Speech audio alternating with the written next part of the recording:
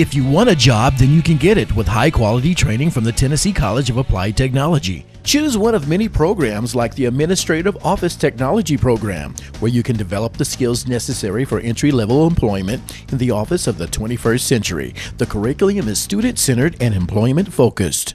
Tomorrow's jobs begin today at the Tennessee College of Applied Technology in Morristown, training tomorrow's workforce. For more information, call 423 586 5771.